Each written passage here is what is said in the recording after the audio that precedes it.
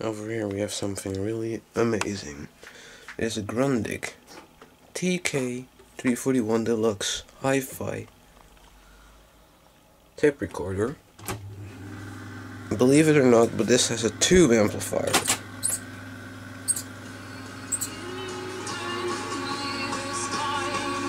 Built-in speakers. Sounds really good this thing. VU meters right here. They only work with uh, record. But this thing works like a charm. Ah, switch that on for playback. Fast forward. Rewind. This is all German names right here. And start is playback. Three head machine. But now, the most amazing part, if you can see it right there, those are the tubes for the power amplifier. And they are glowing.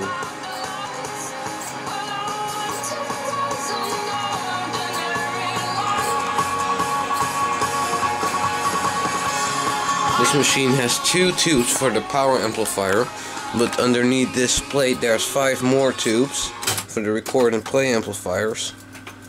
I'm gonna fast forward it more. Has this very old BASF tape on it. I think it's about as old as this recorder. This recorder from 1966. But this tape was recorded on my Akai GX4000D. But this machine records really well. I just need to find the proper cable as it has all DIN plugs right here. Does anybody know what that plug is for? And that one?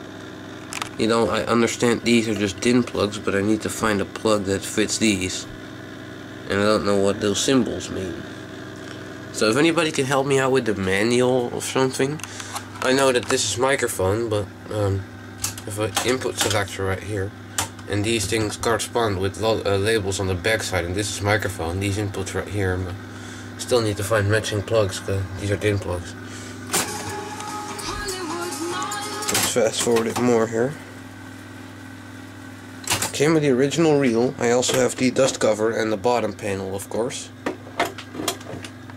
Grundig TK341 Deluxe stereo. This means uh, winding. Playback here, bass and treble.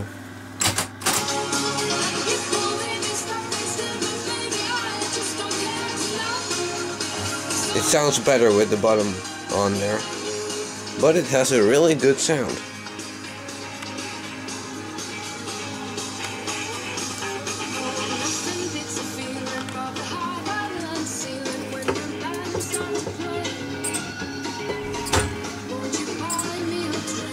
Three heads.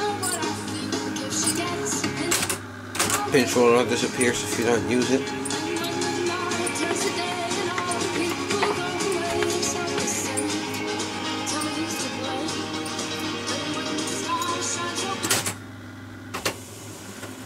I want to take a uh, more detailed look inside. I'm going to rewind, uh, get this tape off here, and then I'll show you.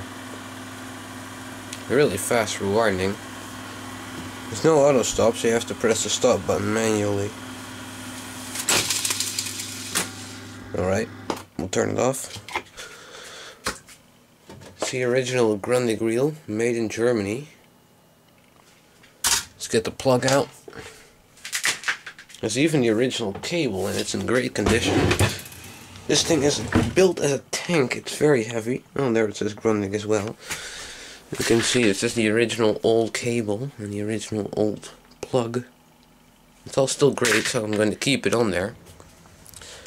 It's a single motor machine. You can see the motor right here. Underneath there is the transformer for the power. These very old style circuit boards and it has a couple of transistors right there.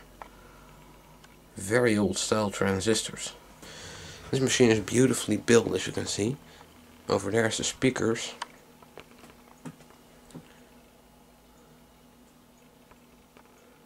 So there's a circuit board up there. Has a big capacitor.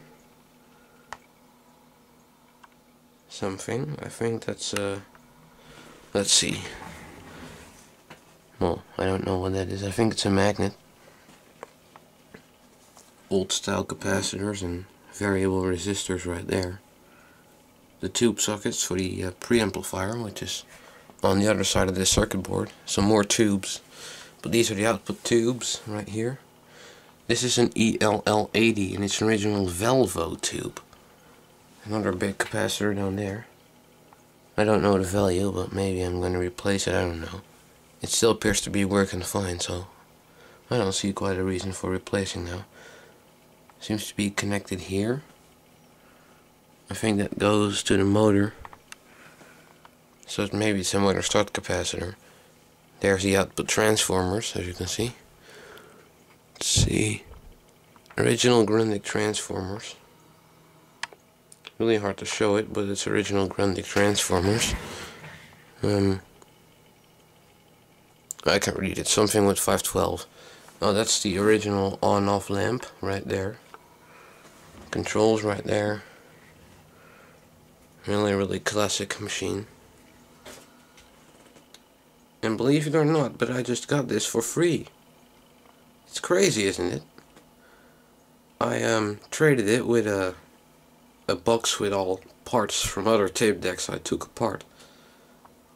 And the person who got this was really proud with that and he gave me this.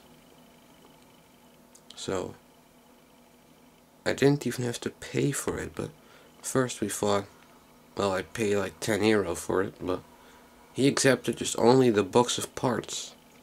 I was really lucky with this thing. So, it's amazing. It's my first tube amp. Never seen such a tube before. So, it's really nice. Hope you enjoyed this video. I'll do some more shots of it soon, I think.